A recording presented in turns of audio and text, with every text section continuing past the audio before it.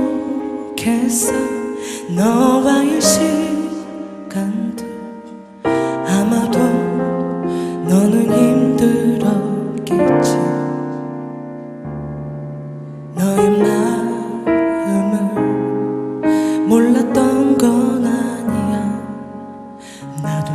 느꼈었지만 널 보내는 게 널 떠나보내는 게 아직은 익숙하지가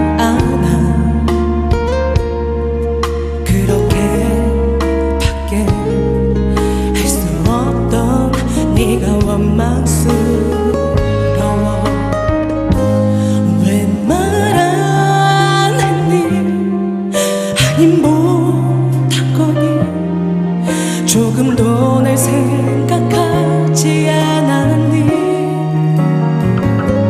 좋아한다며 사랑한다며 이렇게